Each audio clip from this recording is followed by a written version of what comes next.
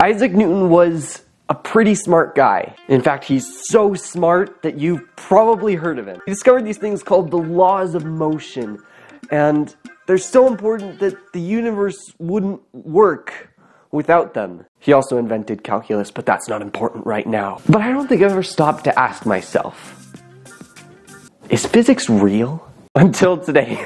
The first law of motion is every object persists in its state of rest or uniform motion in a straight line unless it is compelled to change the state by forces impressed upon it. Let's go test it out. So first we got to figure out if an object at rest stays at rest. To do that, we're going to use domino number one.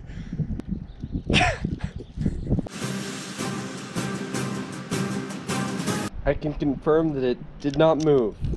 So an object at rest tends to stay at rest, but what about objects in motion?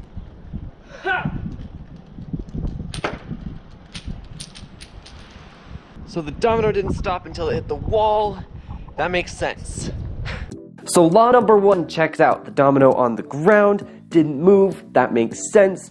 The domino that I threw, that's complicated. When it left my hand, it was going in a straight line, but then gravity happened.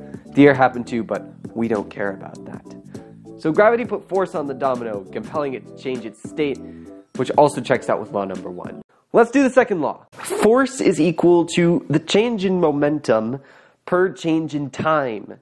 For a constant mass, force equals mass times acceleration. So according to the scale, domino number three weighs exactly 18 grams. And gravity on Earth is 9.8 meters per second squared. What you might be wondering is, Josh, where's domino number two? I couldn't find it. Domino number three. In three, two, one. Pause. It's science time.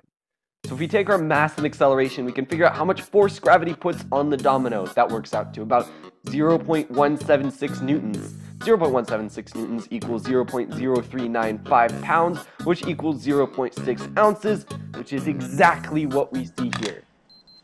Math is awesome. Now, back to the video. Three, two, one.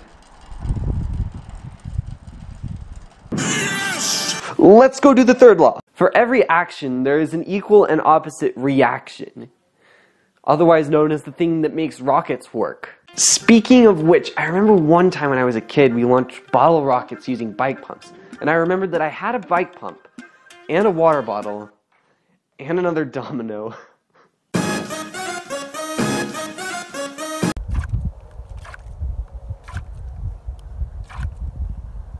like scared it's gonna like blow up all over me. Bottle rocket on three, two, one.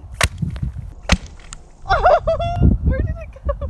No! Domino number four fell off.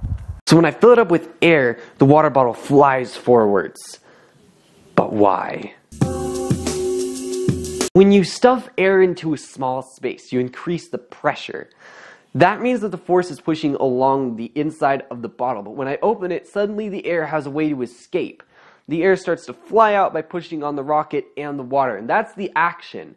The reaction is that the rocket flies the other way. So according to this, the third law is true. Anyway guys, thanks so much for watching. I'll see you next time.